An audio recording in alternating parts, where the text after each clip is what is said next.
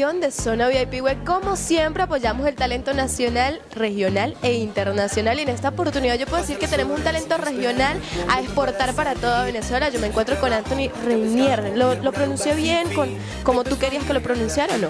Sí, sí, lo pronunciaste bien. Solo te faltó sacar un poquito más la boca. Reinier. Bueno, bienvenido a Zona VIP Web y además está a decir que es tu casa.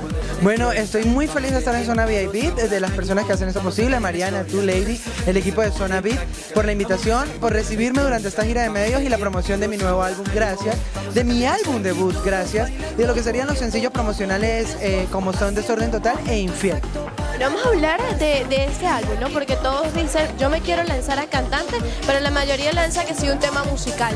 Tú te lanzas ya con un álbum y cuéntanos por qué, por qué lanzarte de esta manera tan grande y no tan extrovertida en el mundo musical. El porqué del álbum es porque fue una meta que me hice hace cuatro años cuando empecé a trabajar en este proyecto. Dije, oye, quiero tener mi propio álbum, quiero que las personas escuchen mi canción, pero no quería que fuera un álbum cualquiera, quería que tuviera un concepto, que más allá de ser el Anthony músico, fuera el Anthony persona, que las personas me vieran como un artista íntegro. Es por eso que decidí empezar a trabajar en el concepto hasta que nació Gracias. Y ahora que veo que está totalmente preparado, pues decido liberarlo en tres versiones. Bueno, ¿y por qué gracias? ¿A qué se, se, dedica este nombre? ¿Tú llegaste, te sentaste y dijiste, me ayudan a escoger este nombre? ¿O fue un día que Anthony dijo, quiero escoger este nombre y doy gracias porque hoy estoy cumpliendo uno de mis sueños? Es cómico porque el álbum tuvo dos nombres antes. Uno de ellos fue Habla Ahora, que era como lanzárselo a mis enemigos, decirles, bueno, ahora sí pueden hablar acerca de mí, decir cosas y todo lo demás. Pero en un momento de mi vida me di cuenta, oye, ¿por qué hacer un álbum para las demás personas cuando puedo hacer un álbum para mí, para agradecer? Y qué mejor que ponerle gracias y dedicármelo, autodedicármelo. ¿Por qué razón? Porque fui el único que nunca desamparó en ningún momento su carrera. Allí estaba cuando me cerraban 100 puertas para volverlas a abrir. Cuando las personas tal vez decían, no lo vas a intentar, lo seguía logrando. De hecho, no sé cuántas profesiones tuve que hacer para poder recolectar el dinero de hacer el álbum. Entonces es algo súper extremadamente genial y ahora mira, es un sueño realizado de no tener una sino tres versiones de él.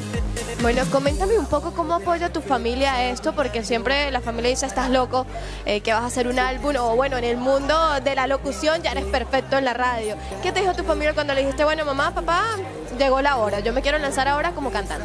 Bueno, eso fue lo primero que se los dije, se los dije cuando tenía 8 años, mamá y papá, yo quiero ser músico, eh, recuerdo, y este, de ahí para acá me han apoyado. Obviamente mi mamá y mi papá lo ven como algo pasajero para ellos, pues. Y el resto de la familia lo ve como un juego. Pero yo sé que es mi trabajo. Y no debo sentirme mal si algunas personas no le dan ese aprecio que le deben dar a mi trabajo. Más sin embargo, debo demostrarles que soy serio en este aspecto y que lo trabajo igual que el mundo de la locución, al igual que el mundo de la animación, al igual que el mundo de la producción y cualquiera de las otras cosas que hago en el ámbito regional.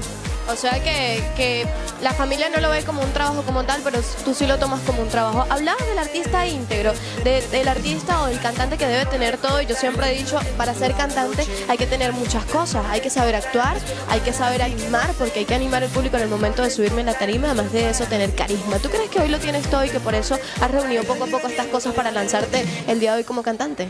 Oye, mira, yo no puedo tener un 100% de talento vocal, eh, no puedo tener un 100% de talento al momento de bailar o al momento de actuar, pero siento que ese poco de cada cosa que tengo, combinado con la chispa y las ganas que le he puesto a esto, han hecho que lo logre, pues.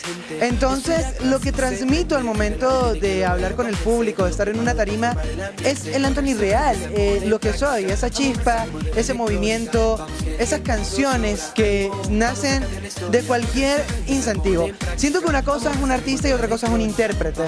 Entonces, respeto el trabajo de cualquier persona en el estado Táchira, respeto el trabajo de cualquier artista y de cualquier intérprete, pero me parece que si estamos en esta jugada, no es para dejar las cosas allí, sino para enfocarnos en continuar y trabajar cada día más duro por los sueños. Bueno, ¿alguna anécdota de este, este álbum que estás lanzando? Una vez que tú dices, no, esa canción eh, me mató porque la escribí, lo viví y lo sentí y es algo que yo, yo puedo apreciar, ¿no? O algo que tú digas, no, estaba grabando en el estudio, llegó alguien y, bueno, pasó algo. Bueno, cuando estaba grabando la sexta canción del álbum, eh, titulada Inmortal, me he quedado sin dinero. O sea, sin dinero para seguir produciendo álbum. Nada, o sea, ya estaba en cero mi, mi cuenta.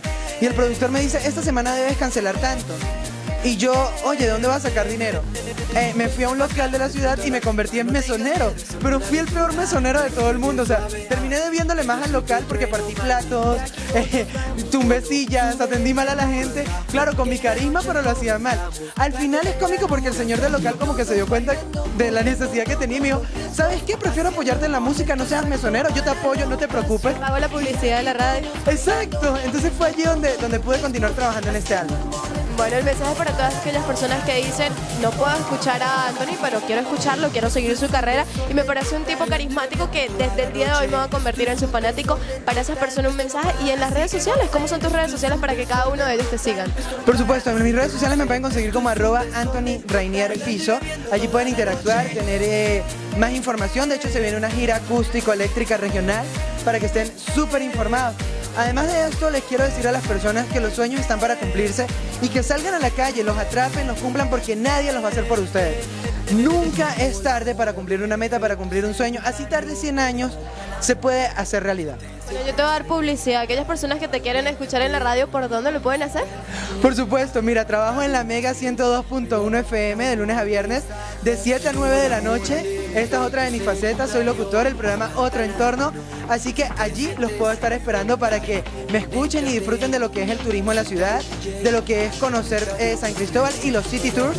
Además de esto, pues soy músico y hago 3.000 otras cosas. ¿Mesonero? Meson, bueno, Malo, pero- el, menor- el- el peor mesone- mesonero que puede existir en San Cristóbal es este que está aquí, pero aún así lo intenté. Bueno, yo me despido, señores Anthony. Muchísimas gracias nuevamente por regalarnos unos minutos. Yo me despido, soy Lady Carrasco y ustedes interactúen con nosotros en las redes sociales, arroba Zona Big Web.